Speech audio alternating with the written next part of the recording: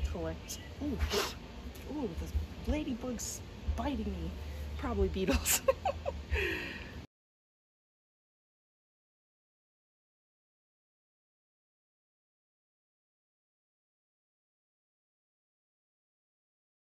Hi there, Marge here from Rose Grows in Harlem. It is Saturday, May 25th, and I have a lot to do. Um, for a reason I won't get into here, I'm going to have to travel to New York a little earlier than planned, and I have to get uh, all my garden stuff done this weekend. Um, so I just wanted to run quickly through uh, what's going to happen, and then because the sun is blazing out, um, it may be too hot for the camera. So I will record, but I'm gonna I'm not gonna talk. I'm just gonna do the work, and I'll probably speed it up later. Uh, but I just wanted to give a rundown now before my my camera actually you know uh, burns up from the sun. Um, I have to trellis my tomatoes. They're getting large enough now that it's too big. They're they're just falling over, and I'll show you what they look like when I get over there. Um, so in order to do that, I will have to cut back my walking onions because they are going out of control and it's great. Um, but I'm excited about that because I want to throw them along the back fence so that I have walking onions like forever. So I'm very excited about that. Then for the side beds, my cucumbers have finally gotten their little runners, so now I can train them up the trellis, and basically you just rub those against the plastic or against the, uh, the pole, and they will wrap themselves around that and then hang on to that to grow. So I can do that. And then once I've trained those, I can remove the netting from the top half. Uh, the netting that I have over the entire area is to keep the uh, cats out mostly, but if I just put that halfway, it should be all right, and then the peppers can come through and then the cucumbers can come through there as well. My loofah, I am going to use my greenhouse as a huge arbor-esque like thing, I guess you want to call it. Um, but I'm gonna put trellis netting all along that greenhouse and then uh, put loofah in grow bags and then slowly train that up that trellis. And then uh, for the watermelon, I want to put all the watermelons in some dirt lockers so that they could, you know, spill over into the ground and then they could use up whatever uh, native soil they'd like.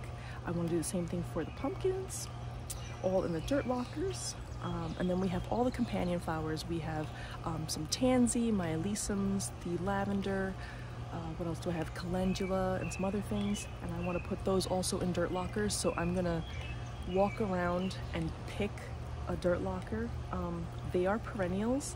I probably should be planning this out, but I'm not. I'm just going to put like all the tansy in one dirt locker, all the lavender in another dirt locker, so that I just have pops of color and of the same, you know, type of flower. Because I've never had that, and I think that looks really cool. Um, and then last but not least are the grapes. I have neglected my grapes big time and I'm really sorry grapes but um, if I have time today if not tomorrow maybe Monday because it's holiday um, I'm gonna make my obelisks and I'm gonna train the grapes up the obelisks I was going to do it with a um, with a stake. Uh, I'm sorry, no, they're big logs. They're kind of like fence post logs, um, and I was gonna, you know, uh, bury in, or I was gonna dig into the ground a few feet, put the the big post in there, and then let the maybe make a trellis or, or do something with it.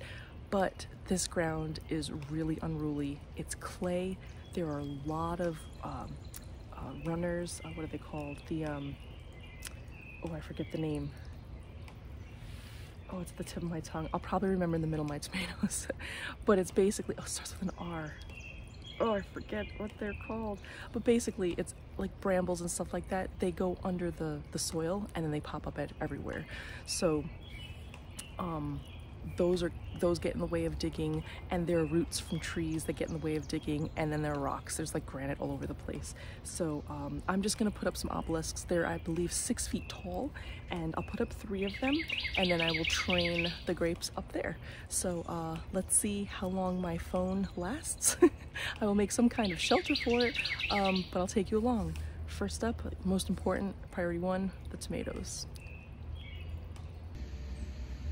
Okay, so right now you see the tomatoes are looking pretty sad because they're being bombarded on one side by the walking onions and it rained really hard today. So the ones that are really tall, like this one, is totally flopped over.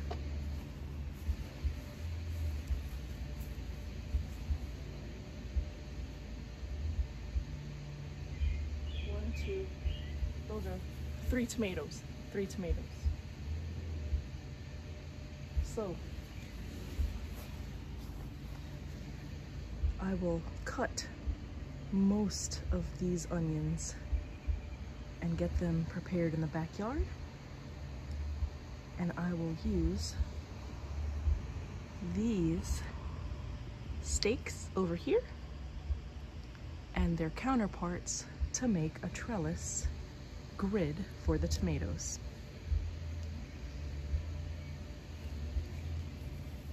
If for whatever reason the camera cuts off, I'll just come back and show you the rest later.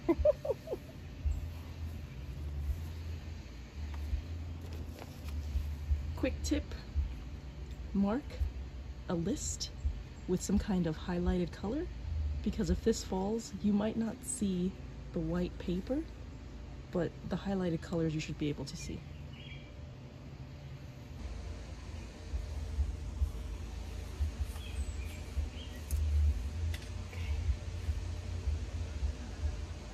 There are spiders here, so I have to be careful.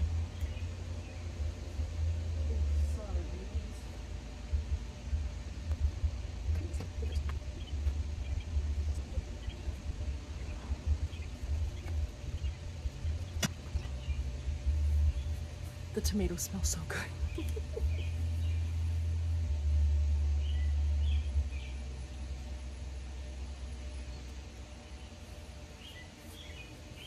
if it looks like this,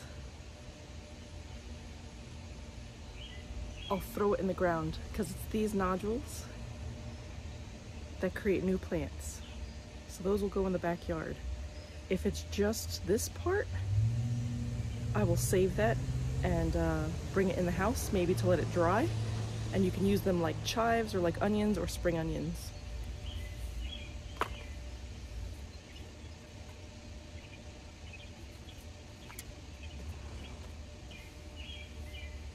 You can also give them away to friends.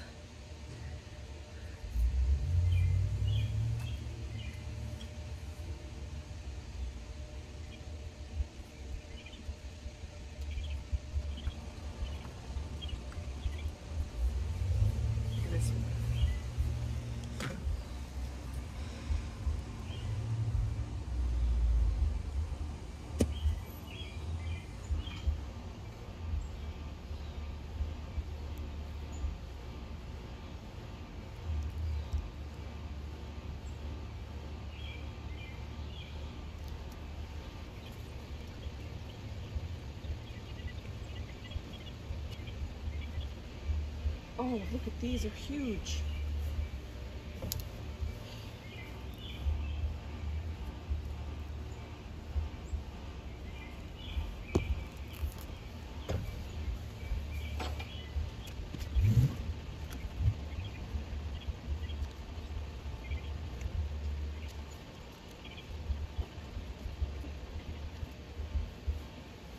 Okay think that's all the ones that have the bulbs. Oh, no. Over here.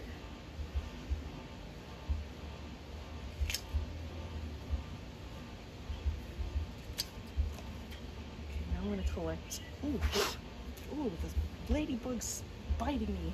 Probably beetles. but these I can collect. There's so much water in them.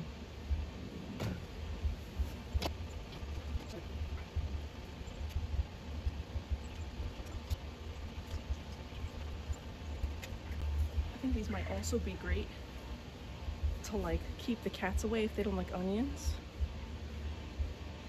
Put some, chop some up and put them in my garden.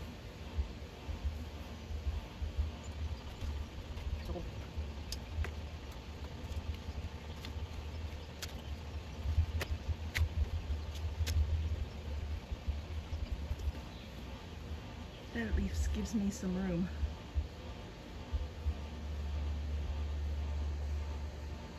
to make the trellis.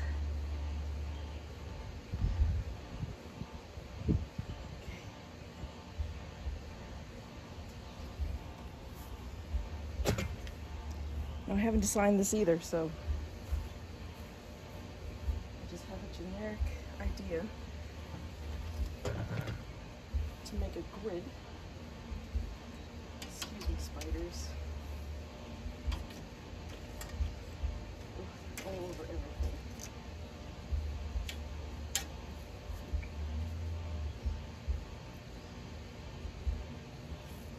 See if I can put one in each and then make a grid out of that.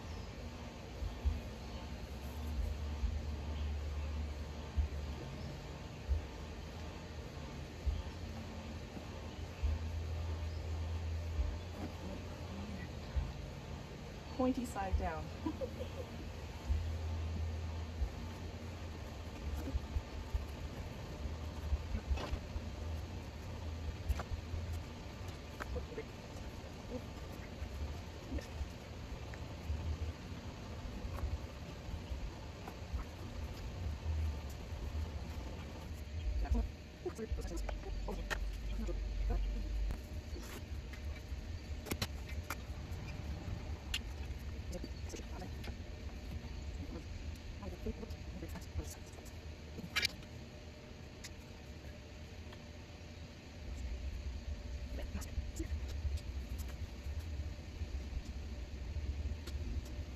Okay, I also have these.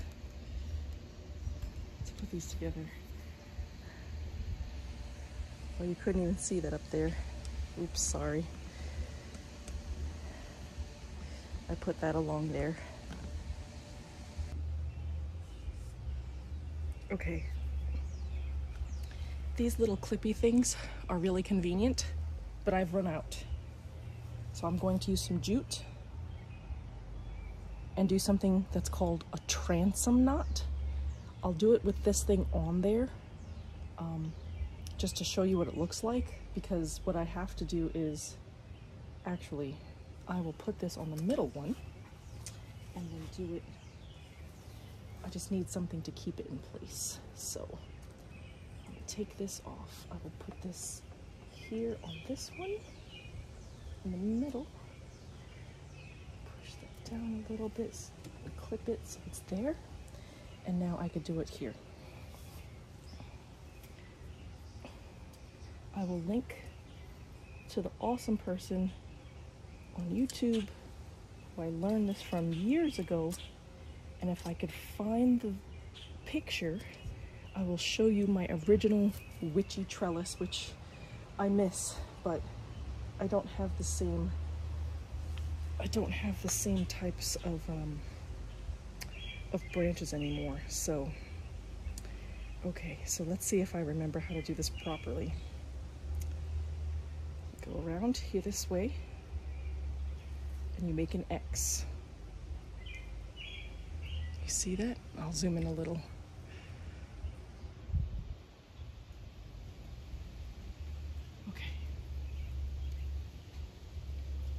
Go around this way and you make an X. Then you go around the back like this you go over this one and through the middle of the X. Now, this is going to look like a mess because I'm trying to keep it. And then you tie it all together. Now, if you want, you could make an additional knot, but that's not going to really go anywhere. If you're unsure, like I do sometimes, I just go around it a few times and just tie a knot. It's jute, it kind of sticks to itself.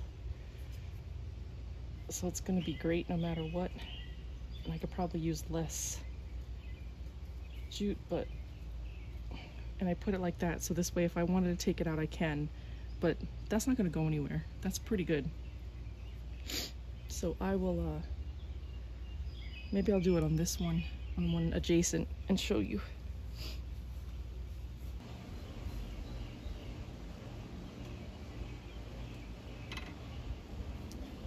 I'll use this little clip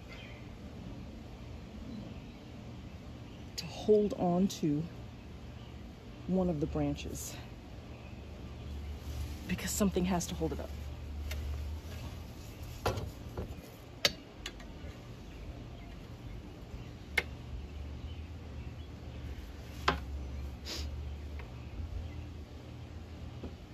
Put it over here.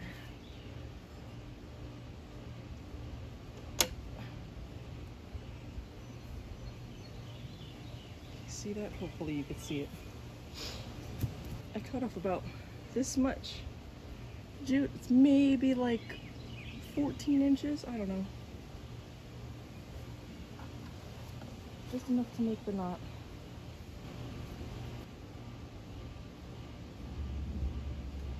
Over, under, over, through the X.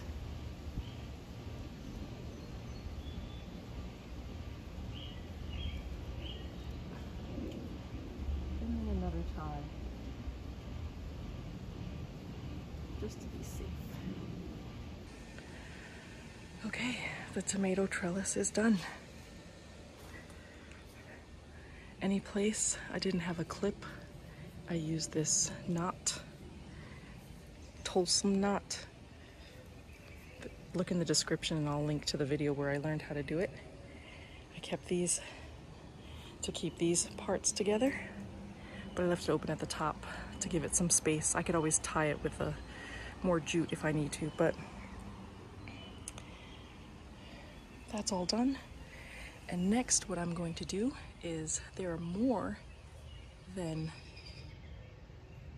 some of these have more than one tomato. So I am going to make cups or get some vases or something, label them, and cut the tomatoes there and see if I can get those to root and then I'll have a brand new plant and leave the other one there. So that's it for today. I'm gonna go feed the cats, go and get some dinner for myself after I clean up. Thanks for joining along today.